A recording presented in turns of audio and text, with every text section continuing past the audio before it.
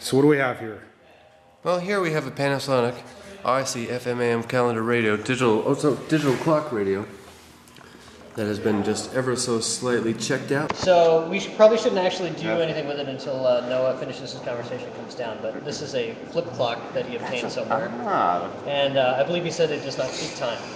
Looks like it'd be fun to take apart. Yeah, I agree. I'm interested in the mechanism. We have authorization to proceed. I'm scared. You're scared? I'm scared though. You're scared as? There's already. Um, it is timeless. It's timeless. It's made in Japan. Do not disassemble. To prevent electric shock, do not remove cover. No user servicing parts inside. Refer servicing to qualified service personnel. So, I don't know, maybe we shouldn't. So don't try this at home. You say it's already partially mm-hmm. unscrewed it? Yeah. So how do we get it apart? Golly. You're gonna have to figure it out. Golly gee gosh. Well, we, just means we won't use the hammer method. Or the throw it across the room method. Right. Well, that's really just sort of a corollary. Does it do anything if you plug it in? We'll find out. I believe he said it does not keep time over. Oh, there's another there's another clock dial on here for setting the alarm time.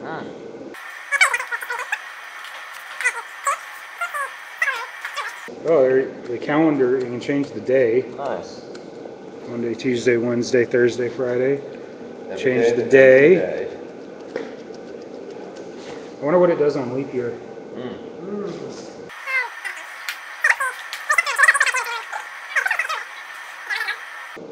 Oh, there's a set time Screwdriver. screw missing. Uh, oh, we could we could knob noster that. there you go. All right, so what do you think for uh, this assembly procedure here? Well, the first thing we should do is unplug it. Oh, hey, you know, after you plug something in, remember to unplug. Or all the way in. All right. Uh, for the home audience who may not have been there originally, there's three screws across the, the back, holding the, the back down, and then there's tabs on the top holding it in. So we can just kind of tilt this forward. And there's- Look at all that stuff. Yep, that's a pretty chunky PC board right there with some nice wide traces on it. Nice. That's uh, vintage tech right there. Look at the state-of-the-art electronics down here. Yep. Oh, look at that. Radio tuner, trim pots. Yep. Look, there's even a microchip of a Matsushita. What does Wow. it say? AN217BB. Yep. Interesting. So um, we're gonna have to be a little gentle with this because the uh, speaker, which is still attached, is soldered on both ends, so we can't just unclip it. Why don't we unscrew it Yep, we could do that. and pull it out? Do we have a, uh, a little Phillips? Mr. Hacky has one. Help us out, Mr. Hackey. Four dollars and ninety-nine cents. That's really screwdriver.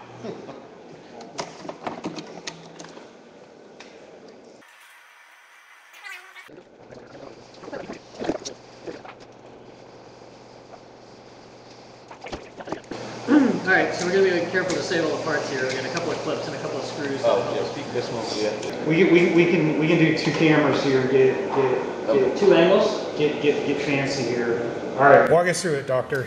So basically, all we've done so far is take the cover off and uh, uh, remove the speaker from the outer cover, um, just because it was going to be a little clumsy with it reconnected there. So the speaker was being held in the spot here with a couple of brackets, a couple of screws. We've gotten that out now. Um, so we'll set some of this stuff aside. So inside, this is looking like pretty standard radio stuff for now. Got an antenna coil here.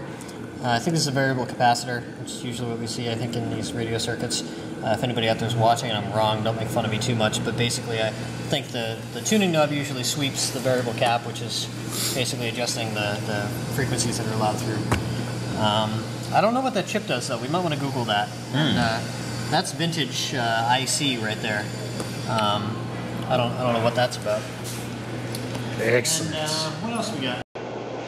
So, oh, this is also pretty common in these uh, radios. We have a tuning knob that's um, basically running a, a cable system to adjust uh, the indicator as well as rotating that variable cap we were talking about there. So you can see this one is particularly complicated um, because it's going in two different directions. Um, hey Ross, don't mess up the live stream, all right? So, so you don't have to whisper. It's okay to be on camera. So uh, anyway, so we got You're on camera. we get the uh, the the, um, the dial wire rotating the indicator on the front in one direction and then doing a 90 degree turn, which is kind of interesting. You don't see that all the time. To ro- rotate the uh, the tuning mechanism. Double damage. Yep. Fancy. And then looking, uh, so that's kind of the radio section. So moving a little bit to the to the east here, we got this motor which probably drives the clock mechanism. It's a, it's a looks like a motor with a gear reduction on it. Stepper.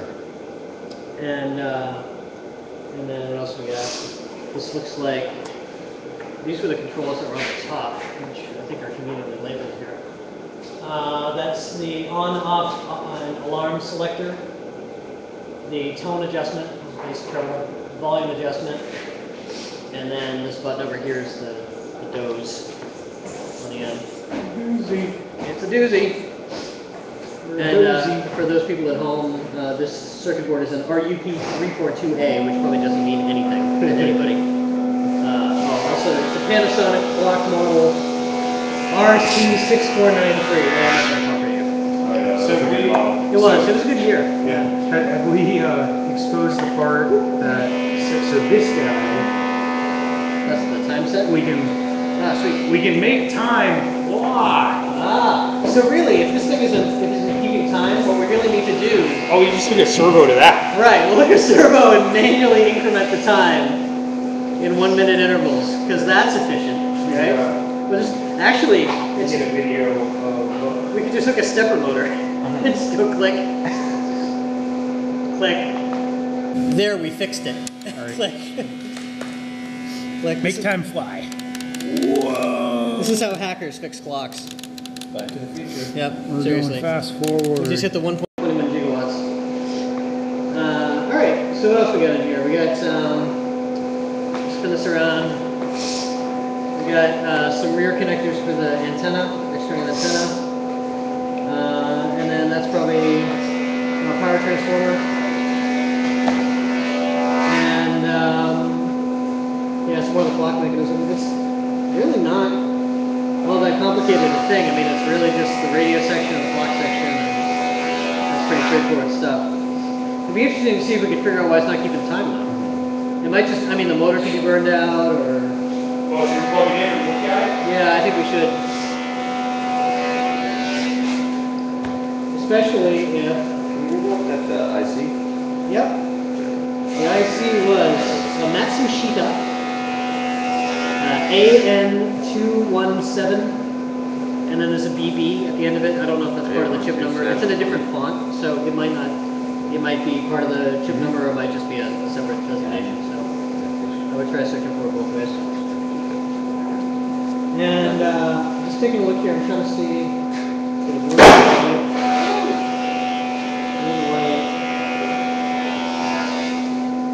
Uh, the wires powering the motor for the clock go way down to the Never Never Land, so I'm not sure we're gonna be able to track that or not. If we plug it in, we might, we should be able to see. I, I think the way this mechanism works is the motor turns constantly, but it's turned down to such a slow gear reduction that it takes a little while for it to exert enough force to flip.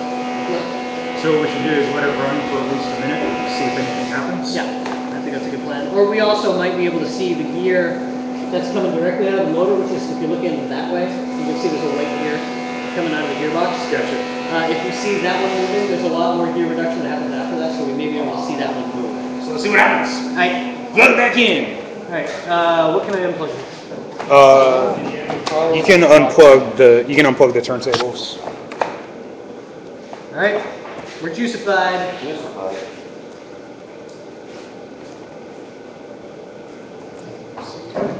Um, I do not see that gear moving at all. Let's go to belt drive. What? That's it right there. That's the tuning for the radio.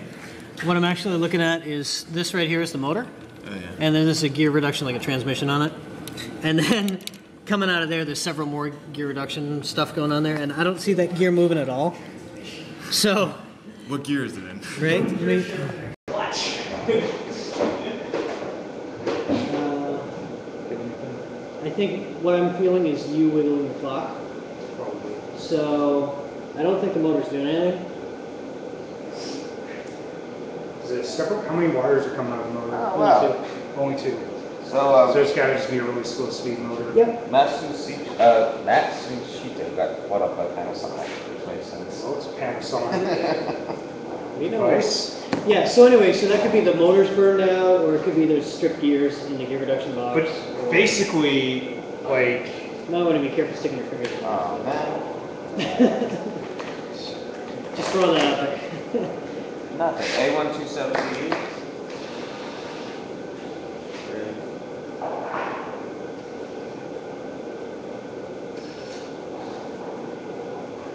Why don't you turn the collar on?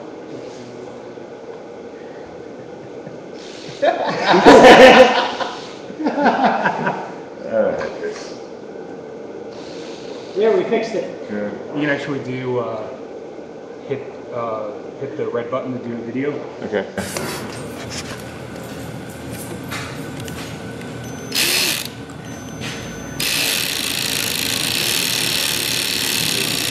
And it's kind of cool. It's like a little flip show.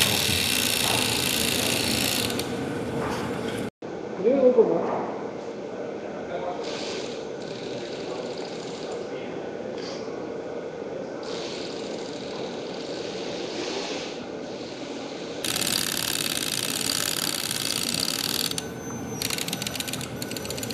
Yeah, so if we wanted to like try to fix this for real, um, probably what we'd be getting into is disassembling this to the point where we can get the motor out.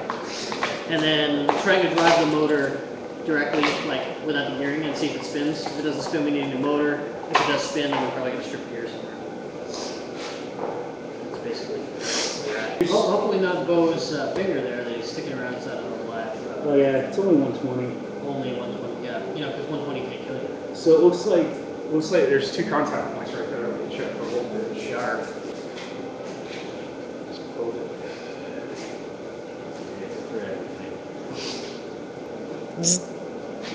yeah, this is totally like operation. Oh, we got, we got one, we got voltage. the first thing I have to say We got one, we got one twenty to the motor, so looks like the motor's burned out. Assuming leads are broken. Or not. Or just from what? So yes, the radio.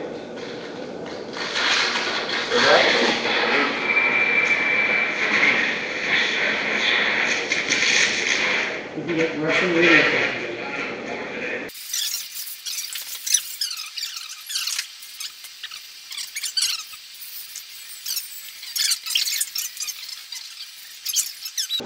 But I just didn't want to more unless.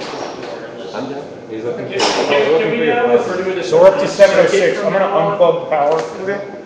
I'm gonna take these screws out and see if we can slide the, the Off time the in. top. What were we saying? Phil? Can we, can we now refer to it as the time circuit? Time circuit. Because now that both shut off the time circuit. Time circuit's off, Time circuits are off. flux capacitor, flux. The uh, space-time continuum should, should be, uh, yeah, temporal distortion should be dissipating. Why not? We found a radio earlier that only got stuff from the 80s.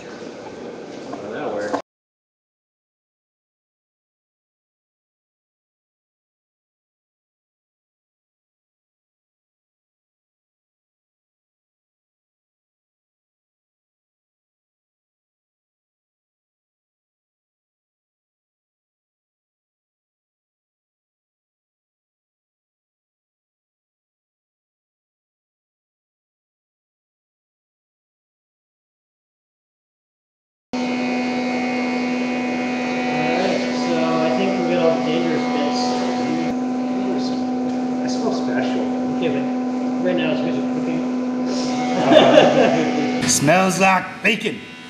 Bo, you smell like bacon.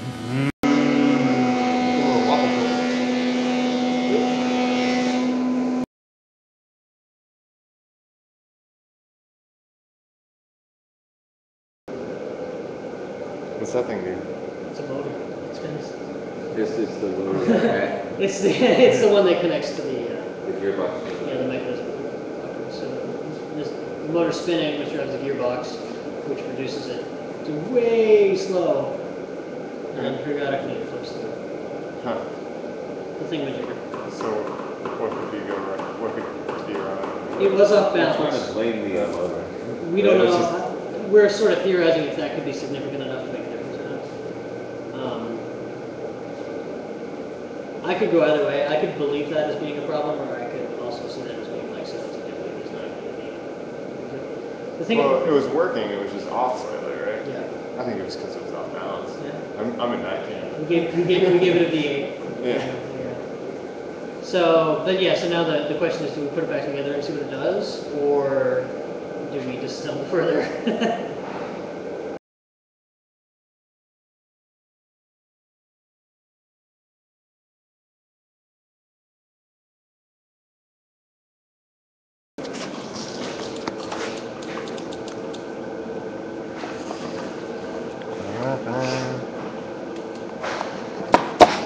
Hang on a second. 749. Now we see. This is the most interesting part of Hack Night. Let's see, where can I put this thing? This thing needs a tripod. See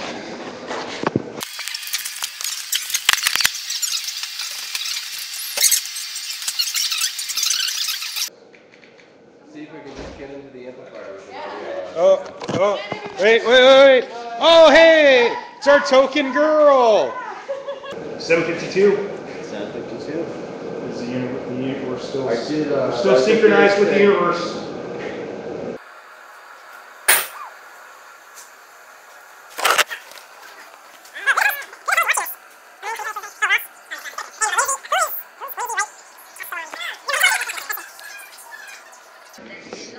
Seven fifty-two. Well, seven fifty-three. That we're still within a minute. Up, there it goes. Seven fifty-three.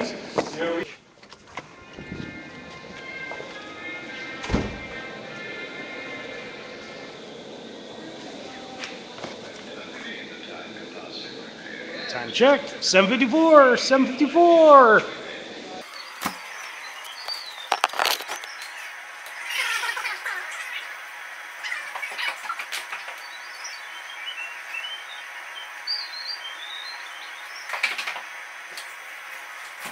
All right, so let's do a time check. Are we still plugged in? Nope. Ah, all right. Well, we made it to 7:59, And it was still on them. And it was still on track then. So we, we have we have managed to make an improvement. Alligator clips, Alligator fish. of course.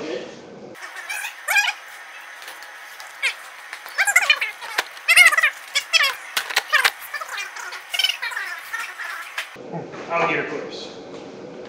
Thank you. Does it work? Did it work? Hmm. It does. Are you running that through there? What are you doing?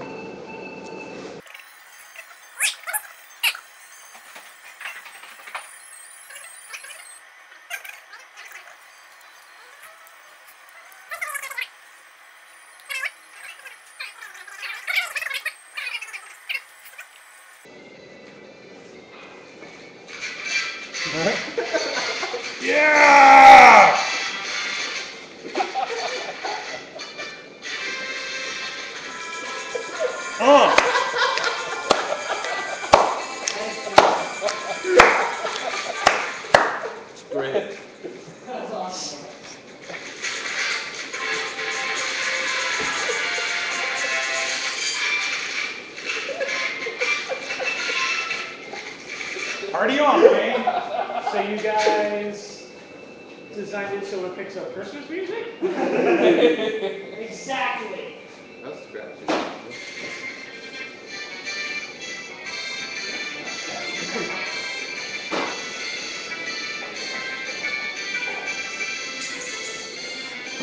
My work is done. Hey, it's telling time. so you could totally rig this up as your alarm clock. So this could be your alarm clock music. Ha. What's it playing let's take a look at how the, uh, the alarm mechanism works. No, where's the input coming from? Oh, what the hell is that? Oh. Just set the alarm. Like normal. You need to build a case that incorporates both of those things. You Yeah, have to play, you have to play alarm. a certain, you know, Song to turn it off. yep. You hit the snooze. It, and it and it starts. It, it comes up with you know it has like a, a ten song rotation. You know, like it might play Ode to Joy. It might play Greensleeves, and you gotta play it to be able to shut that fucking thing off. That sounds terrible. Learn real quick, Bill. It's a nice reverb on it.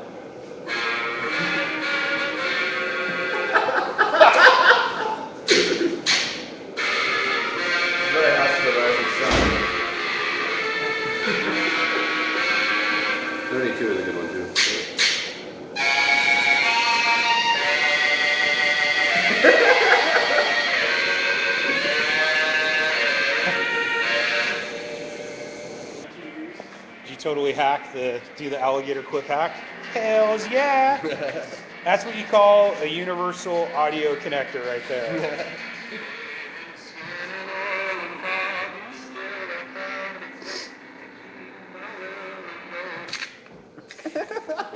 That's the off switch. So we we so what you're saying is we've made a flip clock iPod compatible. Yes. Hacked. What are you thinking there? I was I was gonna put it back together and just stick in it, but I bet if you So I had to have a different idea. dude just go Sticking a what in? Well, I dude go scratch just go to the phone jack. yeah, there's speakers back there. Yeah. There's an eight. There's an eighth inch cable back there somewhere. There's certainly an eighth inch cable jack back there. If not, there's plenty of broken laptops that have them in it, or there's speakers back there that have them in it, or there's all kinds. Play with the aluminum casing around the inductor motor, and we added a little iPod input, so see how that works. Just as well as the internet, probably.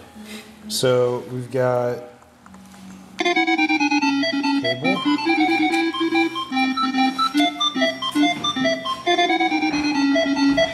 So we're now amplifying our tablet through the clock radio. Hey, clowns.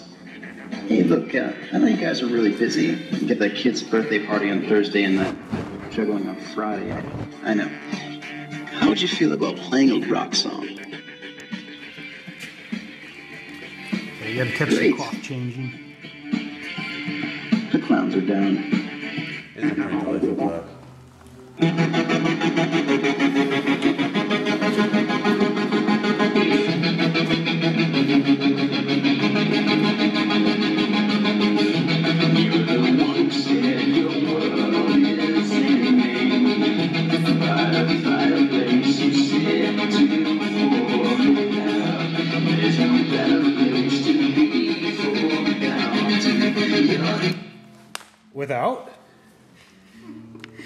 That.